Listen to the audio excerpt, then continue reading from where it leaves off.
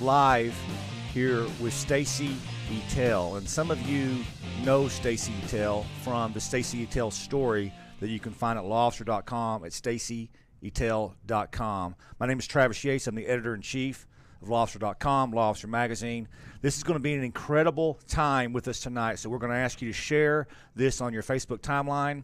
Uh, you can watch this after it's live. We'll also have this at lawofficer.com, but you will not want to miss what we have planned for you tonight. Stacy Ettel from the state of Florida, thank you for being here with us at Law Officer TV. Glad to be here, Travis. How's your time? How's your time been here so far? It's been awesome. Been treated real well and uh, met a lot of nice people. You know, I think many in our audience know your story.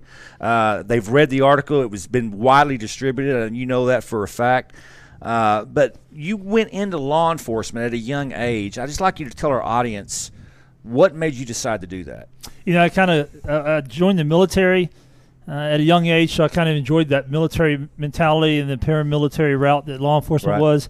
I had lost some parents to a to a drunk driving crash that somebody had caused the death of my parents to, and my wife had gone through some stuff involving some domestic stuff with her, her family, and and they had been killed, and and so I felt like this was an opportunity to make a difference that I, that most jobs don't give you that opportunity to do, and and so I jumped into it. It was kind of a clean slate, and it was a run, and I was 20, 22, 23 years old at the time, and it was just a way to, to take off and impact some people. So your parents are killed as a teenager. Your your wife's parents are killed as a teenager. All of it from violent acts.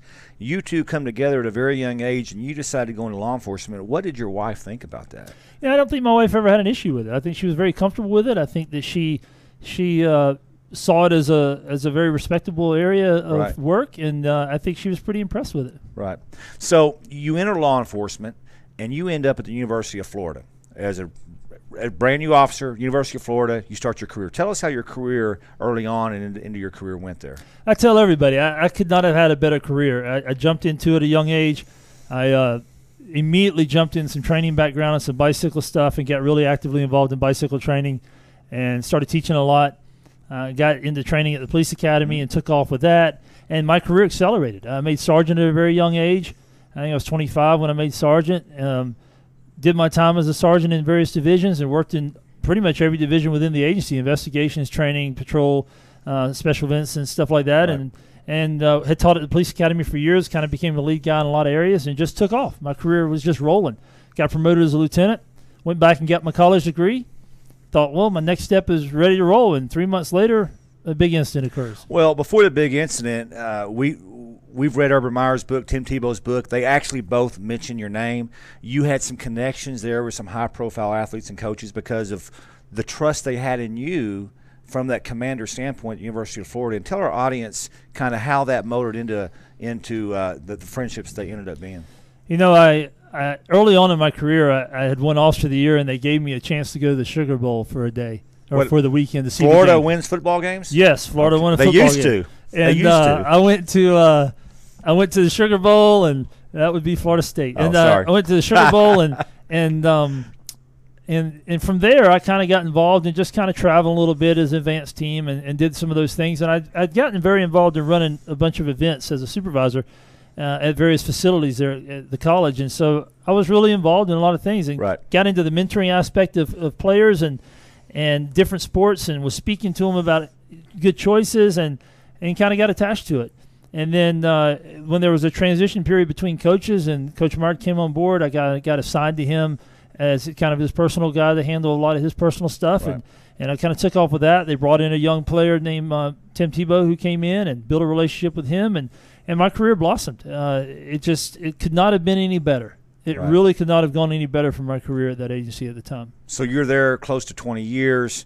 Uh, you've got friendships in high places, so to speak. Great. You've been mentoring young kids. You've been teaching, you know, the incoming freshmen.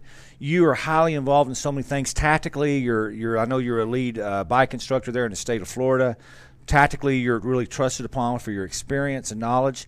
And then one night it all changed. And tell our audience what happened. You know, I was running a, uh, I believe it was a Florida Tennessee basketball game at, at an arena, and and uh, I was actually I was just at that event, and uh, a sergeant, some officers had responded to a disturbance downstairs of a two-story complex involved in a married housing area, and and I listened to it on the radio, and uh, uh, the sergeant came on the radio and said something about he had just threatened to shoot at him or shoot something or something to that effect, and and I realized oh this might be a kind of a priority call, and so I responded over there.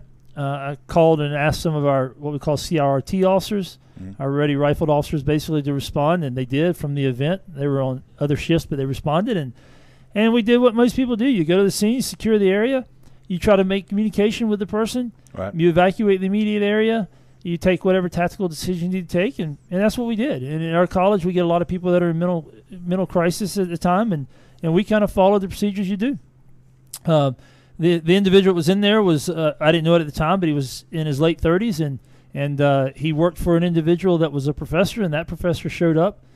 Uh, who was the, the dean of the school, and he spent some time trying to talk Mhm. to him. So now you've not not only have you tried, but you've also brought in somebody he's familiar with Right. and that was crucial.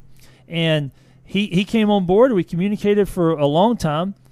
Uh, some of the individuals that were at the front door on the entry area, they they had listened and they felt like nobody could really get anywhere with him, and and we didn't know much about him other than what we had been told by by that dean. And at some point, he shut off communication. And when he shut off communication, I got concerned. And in, in a college environment, when when family members that go to school there notify parents via Facebook or notify friends via Facebook or other avenues that they're going to hurt themselves or possibly hurt themselves or could hurt themselves, we respond and we'll generally take action to assist them. And, and that might be the render aid or it might be to rescue them from themselves.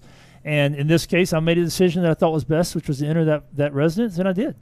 And uh, the five of us went in, and we had everything set in place. We had tasers, we had beanbag rounds, we had uh, obviously our own handguns, and we had rifles, and we were prepared for whatever level or what we thought wasn't going to be any of those things. Right. We thought it was going to be a medical response, and so we did.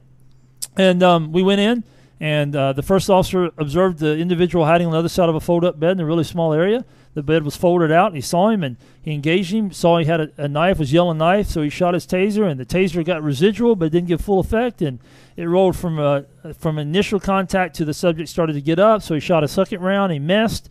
So as he came around the bed, he was armed with a big table leg with a little screw sticking out, and he started in at the officers and at, at, at the stack of officers, and and um, the next officer in line was a sergeant. He had four beanbag rounds and a 12 gauge, and he fired the beanbag rounds as an impact weapon. All four rounds struck the individual. I'm watching this happen in front of me.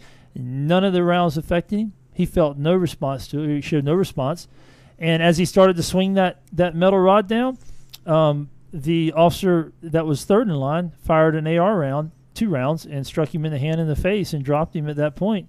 And uh, immediately it turns into a medical response to him, rendering aid, uh, separating the officer and the supervisor out and allowing them to deal with the, the, the shooting aspect of it, and going from there to um, once once medical response occurred to then dealing with the crime scene and, and all of those things Right. and it, and and you know sequestering witnesses and you know all of those things that you get through of an instant and it flowed really really smooth. So immediately afterwards, you've been in a in a uh, critical incident, high profile incident. You were the commander, not the shooter. You were the commander, and and uh, immediately afterwards, you actually feel pretty good about what occurred. Not that it was it was tragic what occurred, but you feel good about the tactical response, and you're getting some people saying "good job" afterwards. You know, you look at it from a tactical standpoint in this country, and, and we can look at a lot of shootings that have happened, but where in this country have we had six less lethal actions before a lethal force occurred? Sounds like de-escalation to me, as You much as you can do. Yeah. You, you use your verbal, you use your, your less lethal, and you do your best to do it. And sometimes it doesn't always function and work the right way. And so, from a tactical standpoint, I thought it went about as smooth as it could. And nobody wants to be involved in a shooting. Nobody wants to take take action that results in a shooting of an individual in this country. Right. There's no desire to do that, but Right. unfortunately, it occurred. And from there, we did the best we could from a medical standpoint. Um, and and and we were getting feedback. You know, you could tell people were like, "Wow, y'all use that many things," and it was rolling that night. They did a press release, and, Right. and the interviews were really good, done well by uh, the captain from our agency that did it. And we thought, "Wow, this thing's going well." I went home and told my wife about it. I said, "Here's what happened," and it went smooth. And um, who knows what you're going to wake up to the next day? So you wake up the next day, and the story has changed somewhat. What do you What do you find out the next day? Well, immediately, um, we didn't know a lot of things about this individual. We didn't know he had childhood polio. We didn't know that there had been times when he had utilized a cane for support. We don't know that stuff. And also, what I don't think many people know, and whether I'm supposed to say or not, I'll just tell you, he was very mentally ill, and you had no idea. Yeah, that was the whole point. None of that stuff I knew. I didn't Yeah. even know his mental illness status to the extent that it was until after the investigation five months later. Right. I didn't know any of that stuff. What I did know, though, is some of the little things that I started reading about people that were blogging Right. about this individual because he had been a teaching assistant. So I'm thinking, oh, and then obviously we knew he was a black male, and then the five of us were white. From another country, correct? that is correct. He was from Africa. He was in his late 30s, and he was working on his doctoral program. So you you had this dynamic, white officers, black male from Africa. They're working on a doctoral program, highly mentally ill issues. I have a feeling the mental issues got pushed to the back burner as far as that.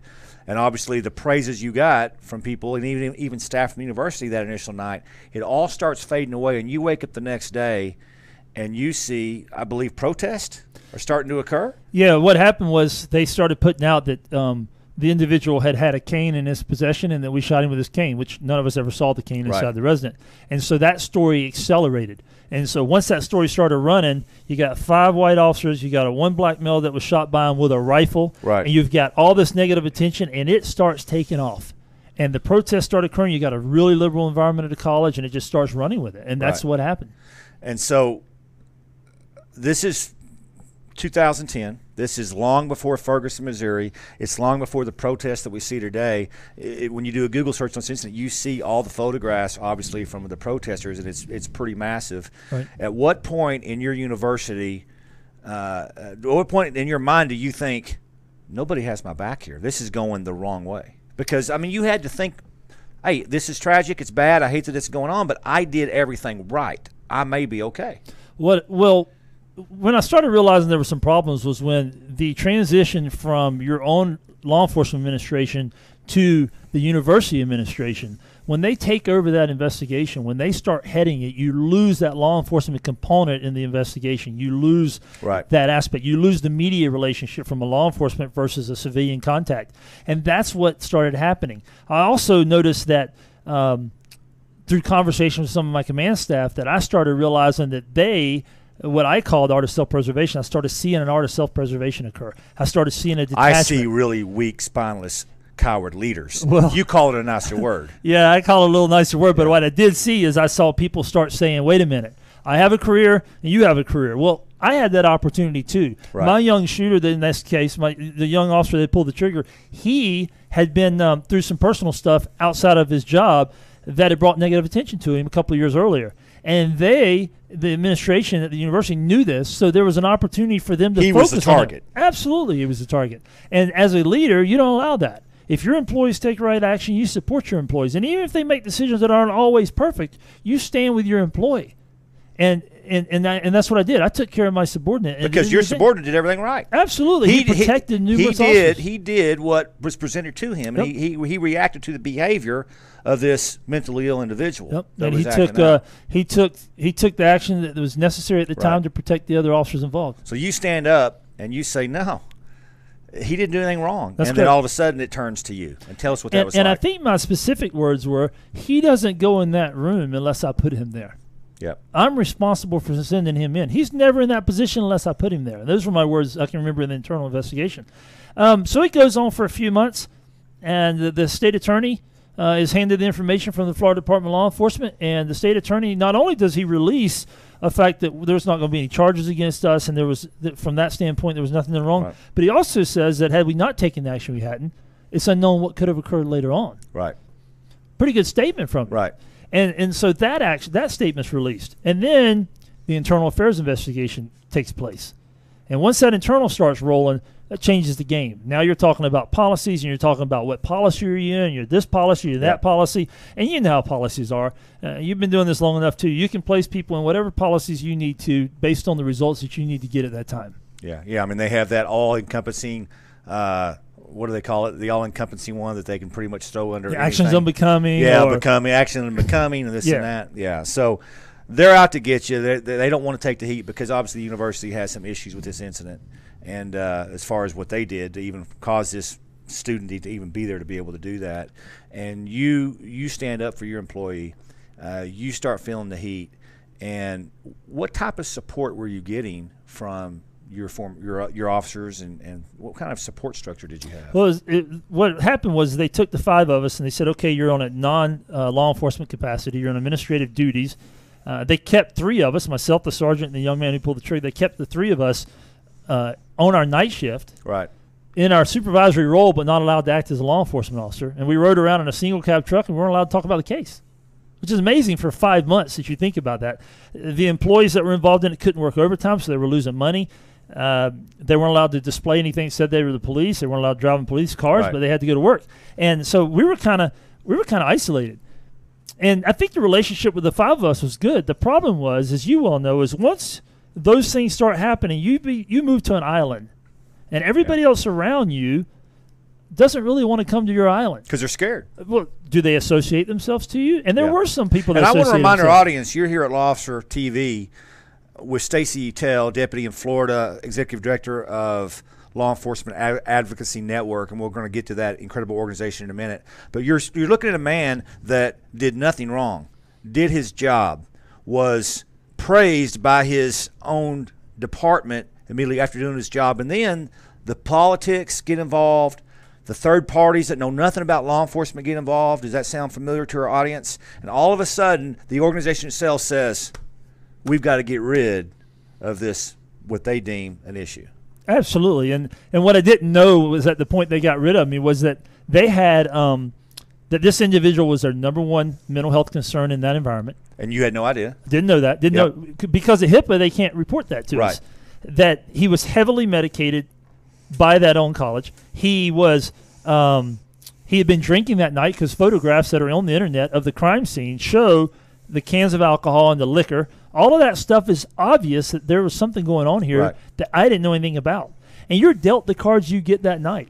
And you make decisions based on what you have that night. And that night we made those decisions based on what we had. And we knew none of the other stuff either, which wouldn't have changed the outcome. But had the university stepped up and took responsibility for their failures, then the negative attention wouldn't have fallen on the officers Because involved. the, the outside forces, the protesters, whatever, they're they're seeing you're not getting support from the agency, so it just fuels them. oh, there's no doubt. And this built and this built and this built. And how did this affect your wife? Oh man, you know, I, I can talk about my wife a a lot about a lot of things. She, her intuition's amazing, and her ability to pick up very early on that there was a lot of negative. Uh, she knew early on this wasn't going to go good, and, and I don't know why her intuition because I didn't. I, I felt like my issue, my my history, and my my strengths were going to over over overcome this, and uh, she didn't.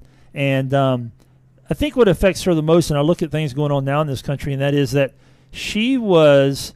Um, she was she has no control over the decisions we make as as their spouse. Yeah. We make our decisions we make, but th- she deals with so much of the repercussions. She reads it, she sees it, she sees five people that she knows, all the five people involved, and she watches them release articles on them, and she watches them do diagrams, and she watches them do videos. She talks about how bad they are, and she hears the race stuff, and she hears all this stuff, and she has no control over it.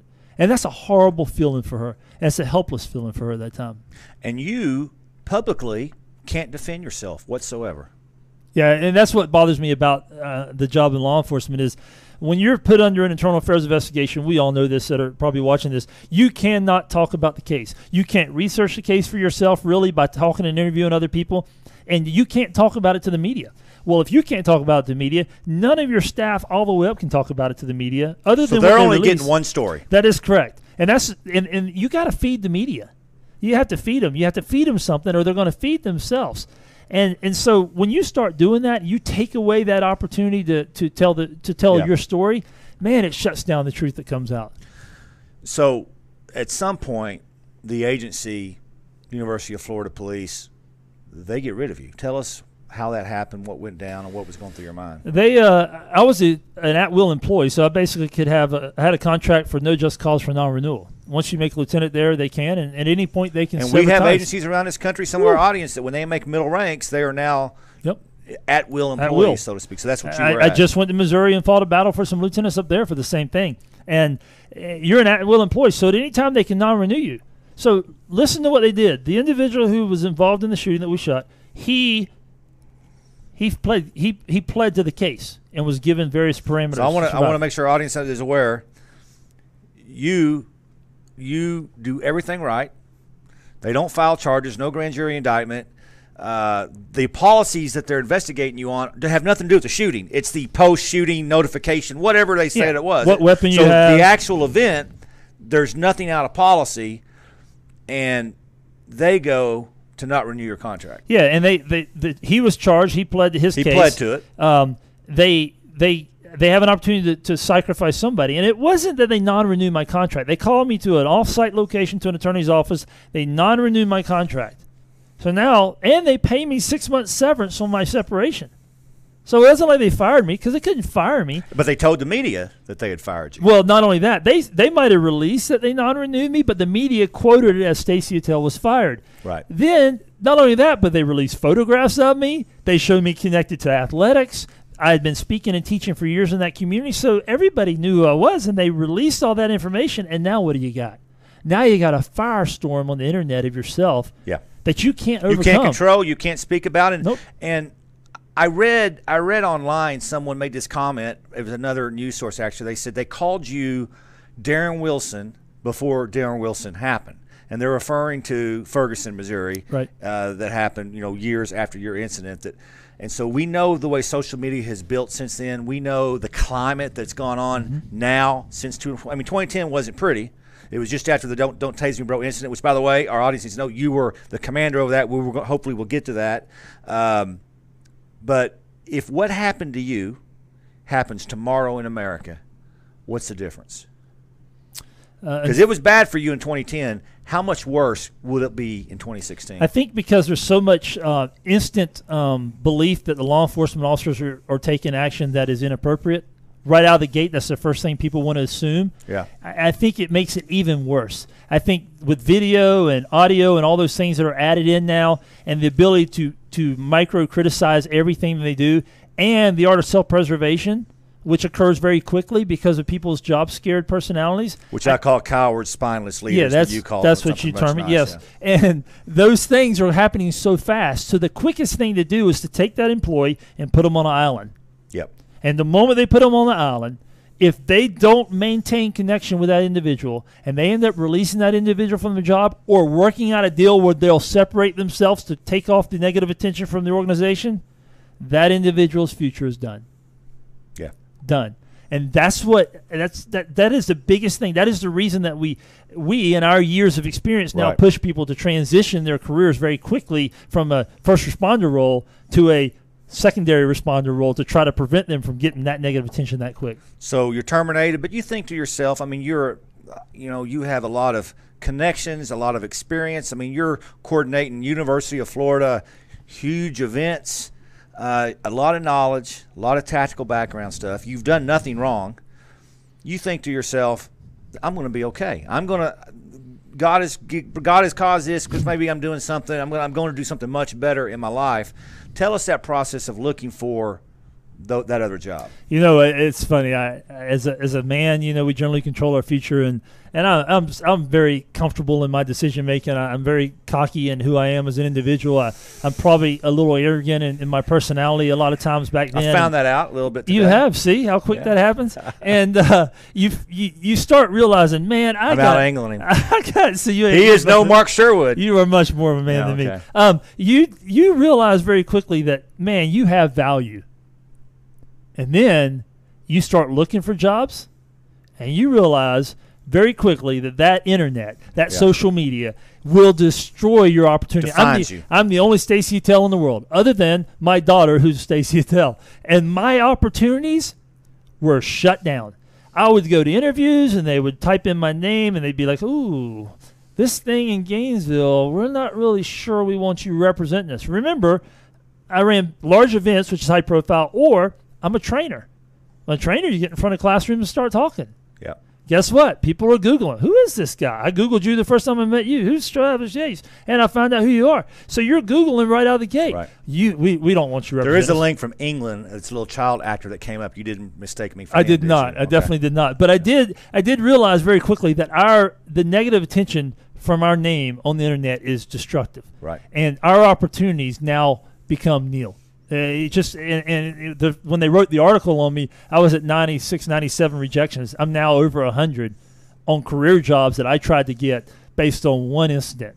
And you actually get a really good job uh, after this. It was because your connection with Urban Meyer when he went to Ohio State, who quickly won a national championship and went undefeated one year actually when they were on probation, I believe. And will Florida ever win another national championship? Uh, yeah, I don't know if I can answer that, but I can tell you my my uh, my views on what happened in Ohio State. Yeah, tell us about Ohio State. You know, I uh, I was I was hired up there non law enforcement capacity. I was going to be director of player or operation manager, whatever. And let me stop everybody. It, it really says something, Stacy, about you and your character, and that incident that a man like Urban Meyer would say, "Come on," because he knew you best. He, you were with him a lot.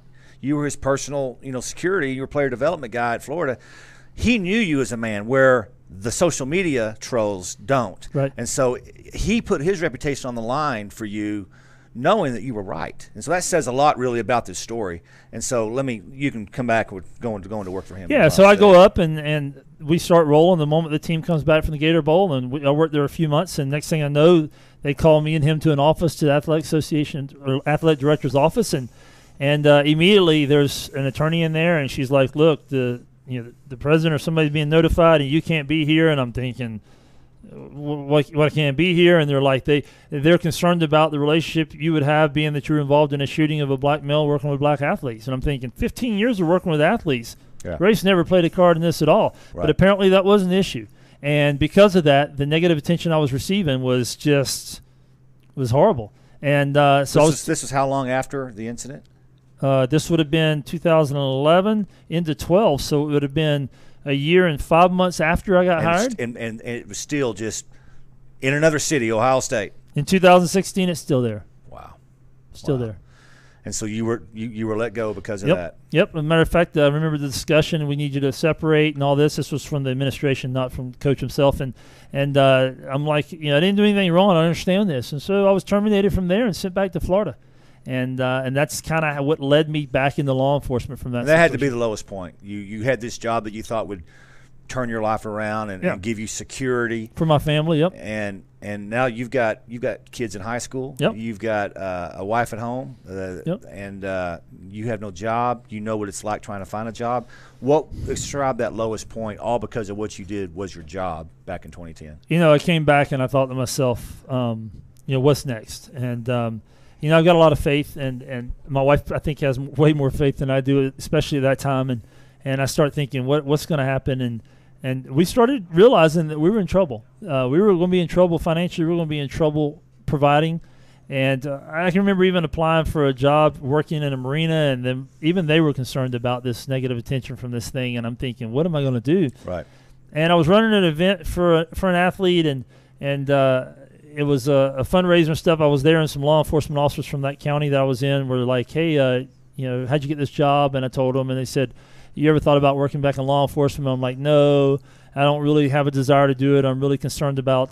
Um, uh, you know what happened to me, and don't want to put my family in that position again. They're like, "Well, if you ever need one, let us know." And and I had a, a friend there that was real helpful. And a couple months later, I had to take a job, and uh, I went back. And, and I'll be honest with you, it's been a there's been a blessing in disguise in some ways. Mhm. The administration I work for now is really supportive. The environment I work in is much more conservative minded.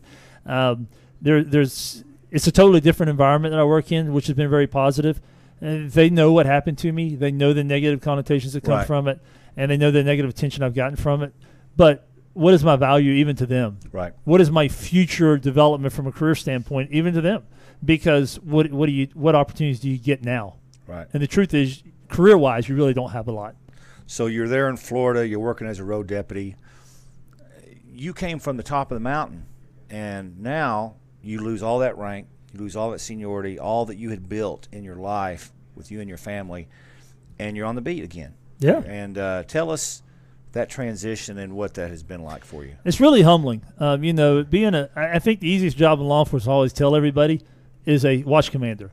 Until the moment you have to make a decision, then it becomes the worst job. But normally, it's one of the one of the smoothest jobs you do in law enforcement. And and now you're back catching calls, and you're working for people that are that have no idea. And Right. I, I, kind of play a game a lot. I wear a serving since 2015 or 16 pin, so I look brand new on my uniform, and I, and I do that as a game to, to try to play with some people's heads. But truth be known, it, it's kind of humbling, and sometimes it's even embarrassing career wise. Or where are you at now? You've been doing police work 23 years, and you're a cop on the road.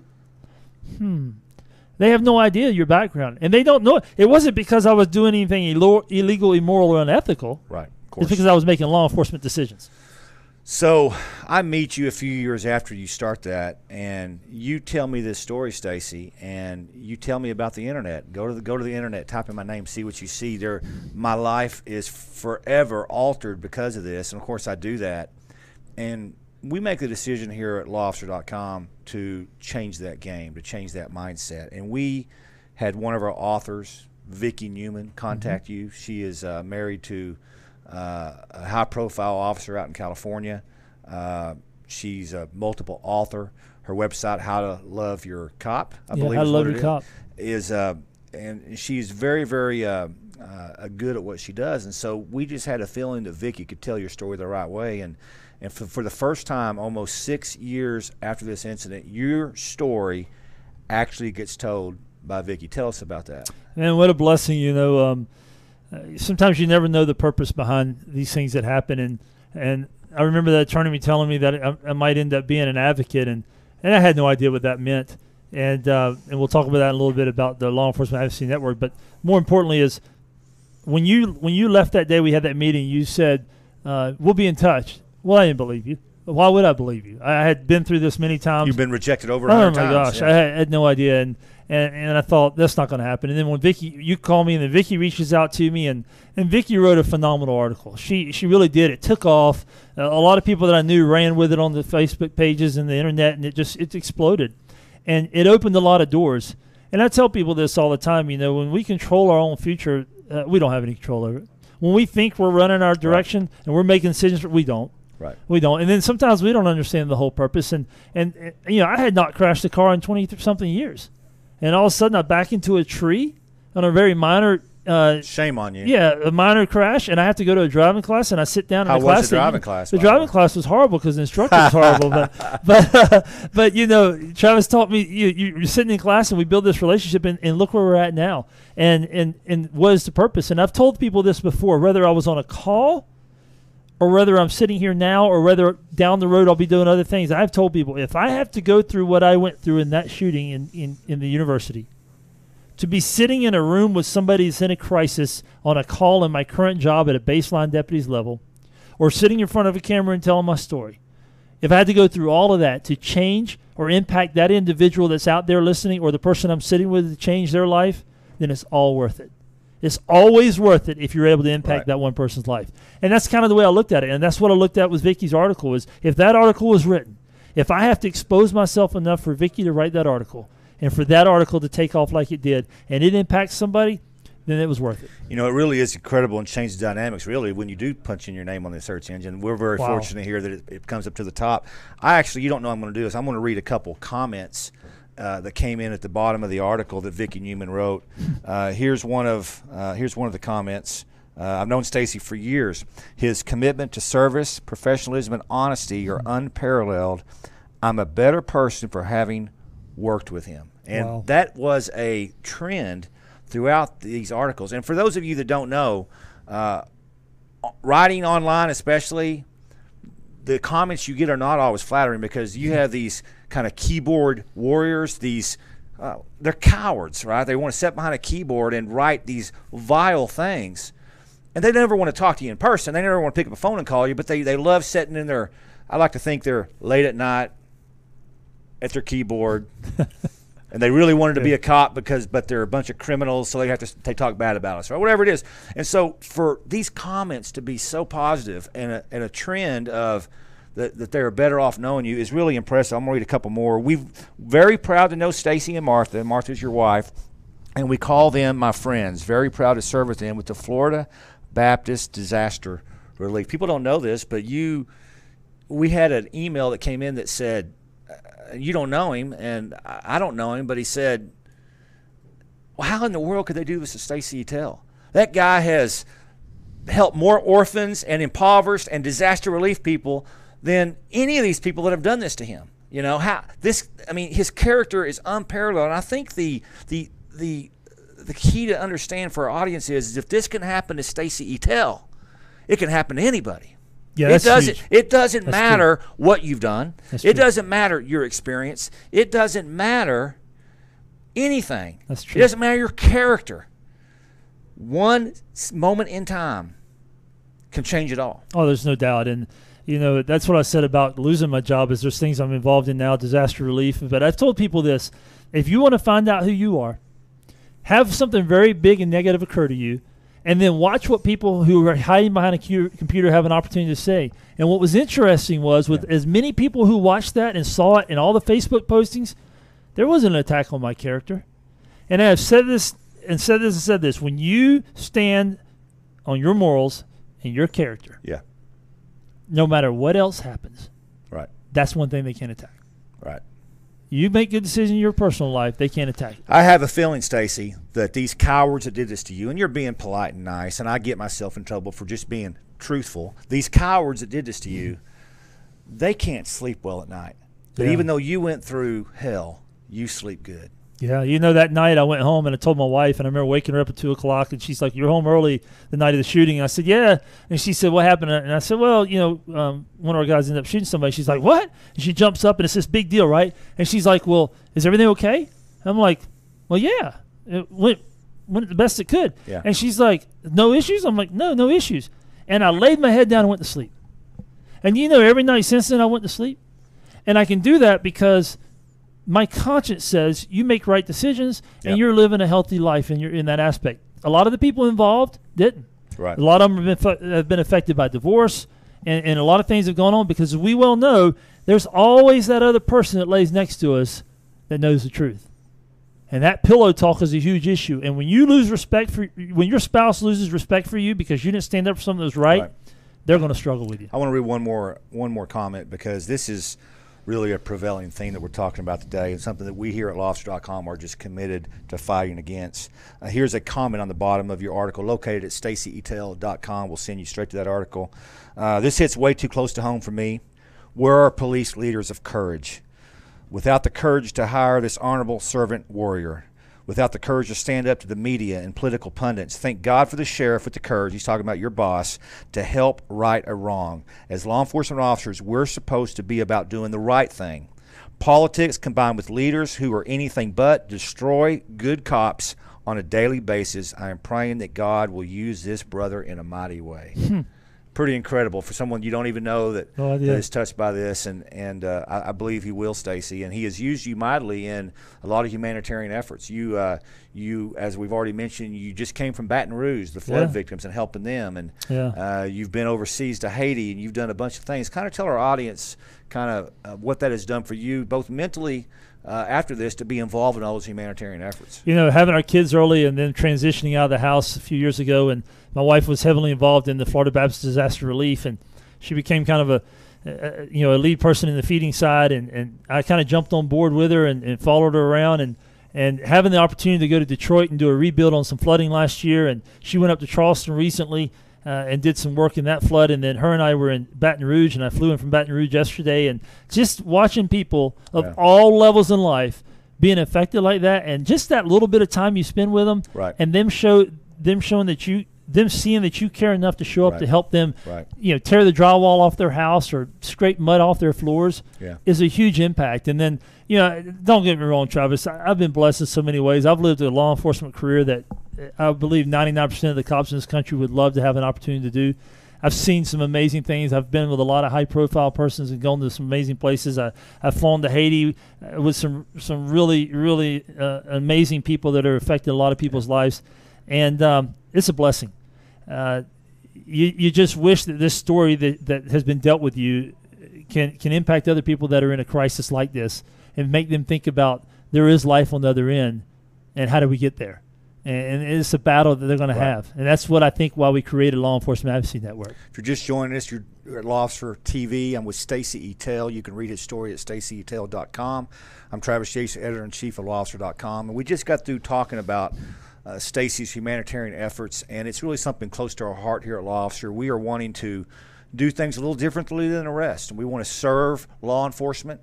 I mean, while we are a business, we want to serve law enforcement and we want to honor law enforcement as everyone knows in our audience, we have been involved in the International Trainer of the Year award with ILEETA for many, many years. And last year, we, we, we let ILEETA kind of take the charge on that, and, and that was the Ed Nowicki Award. Ed Nowicki is uh, is a wonderful trainer, still still going strong, and uh, we've had an honor of honoring that, and we want to continue honoring those officers. So we have decided, and Stacy doesn't know this, that we are going to start uh, right now in 2016 the Stacy Ettel Humanitarian Award. now you're going to think Wow. that's goofy because I don't want you to get Wow. concerned, Stacy, because most awards are named after dead people. Right. Now, but we have history here. Ed Nowicki is alive and kicking, and actually, Ed Nowicki was the first winner of that award in 2007. And uh, we've got the first award here in 2016, the uh, Stacy Ettel. Let me get this out.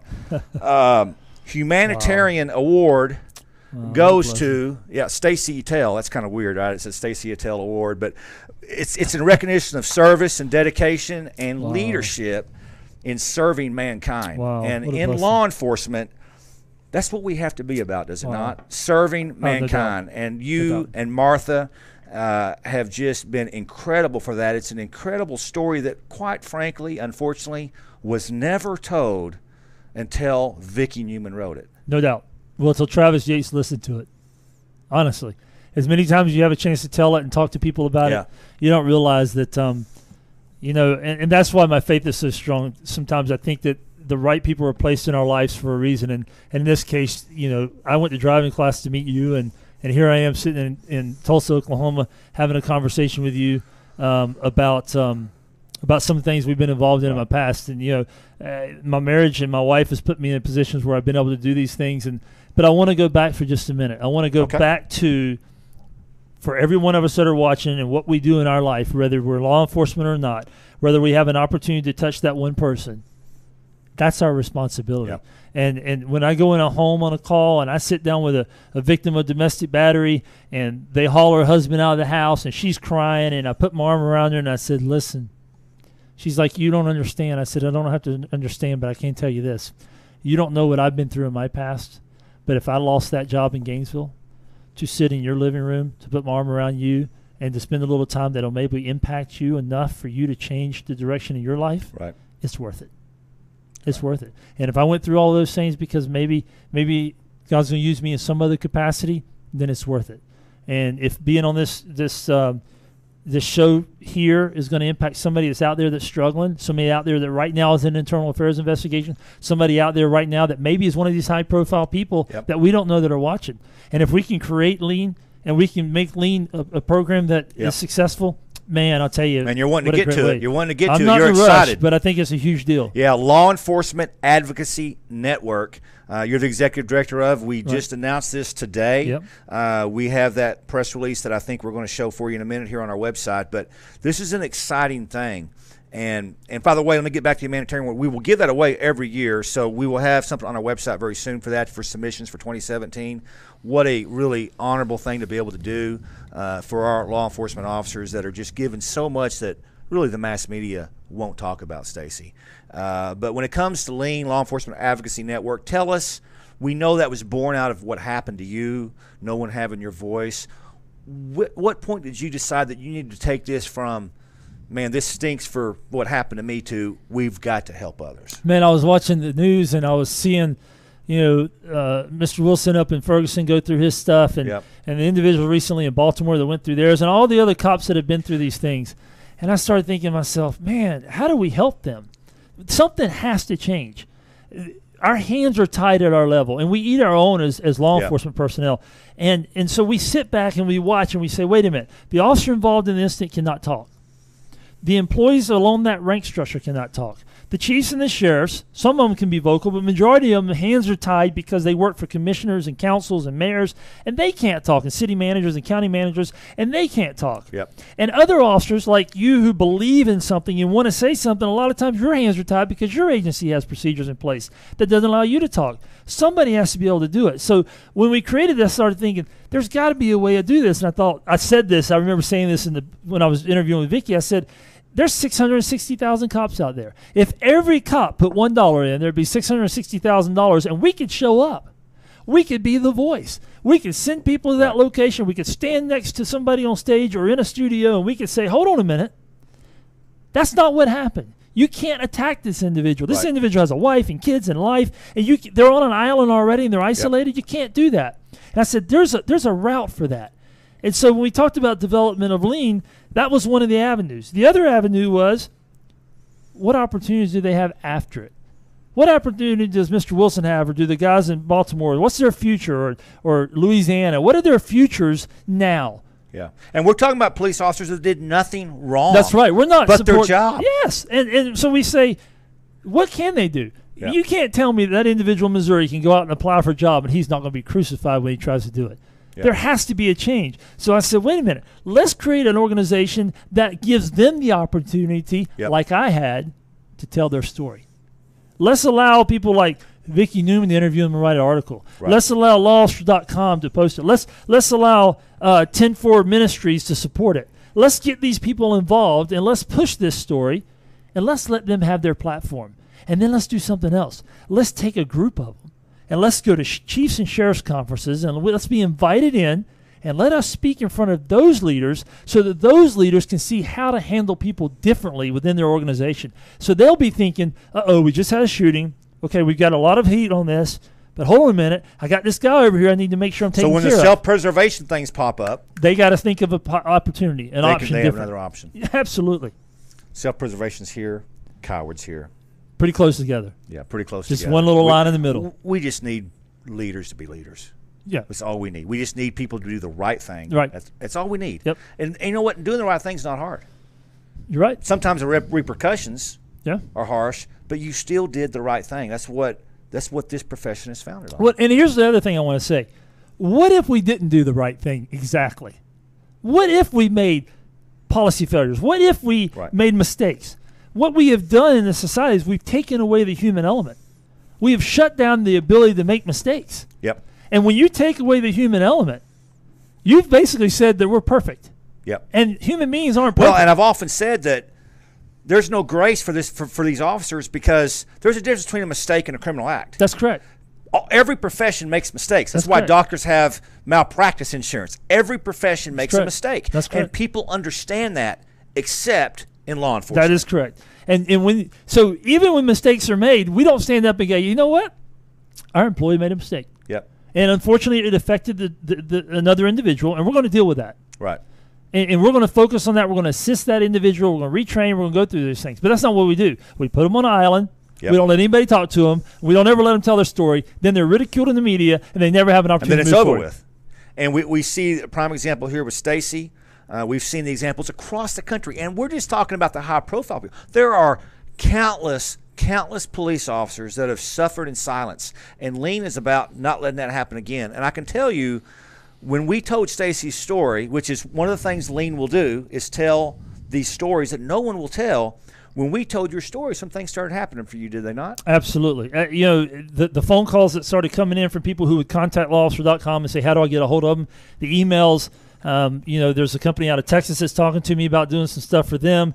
There's organizations now that are reaching out. I, I recently went to Missouri to fight a case for some lieutenants that were going to be placed on, on an at will position, and we won that battle. Yeah. Uh, matter, matter of fact, we found out last night that we won that battle. Because of a coward chief. Yeah, because of I it- think I've said that a few times. yeah, today. you have from a chief that wanted to have the ability to place their thumb in control. Right. And, and I think that's a huge issue here. Um, and so those opportunities are opening up. And, and these conversations, I think, will stir it up enough Yep. that people say, wait a minute, we need to do something different. We need to change the way we handle these employees and we need to affect them because guess what? Today, tonight, it's a Friday night in this country. We know it's going to happen again. Yep. Unfortunately, some type of deadly force situation is going to occur, and is it the next one? Is it the next one that that person is hung out there? And we don't want that to happen anymore. If you're just joining us, you're, you're watching Law Officer TV with Stacy Ettel. You can find his story at stacyettel.com. We have a few more minutes left. We haven't gotten to any questions because this has been just fascinating stuff, Stacy. Thank you. Even though I'm out angling you a little You bit. got me, thing. big man. you. But uh, if you have any questions, get them in quickly. Uh, we'll try to get to some of them here in a minute. I have one more question for you, Stacy. There is no doubt officers watching this right now and they're going through something very similar. Maybe it's on a smaller scale than you, but they're going through something very similar. You made it through the darkness into the light. You're on your feet. you're succeeding in life, you're thriving in life, you are you're living with this as a mark, but you are succeeding and you're moving forward. You're putting one foot in front of the other. What do you have to say to them? Well, there's a lot of different avenues, and I tell people this. Um, you know, if you got faith, you need to stand on your faith, and, and if you got if you got support personnel around you, like your spouse, eh, man, I'm gonna tell you, if you're not listening to the intuition of your wife, you're not you're not on the same page because I, I, had to learn the hard way of doing that. Uh, but I also tell you this: uh, what happened to you in this situation that you might be in is that you had a card dealt to you. And I try to tell everybody this every one of us have many cards that have been dealt to us in our life.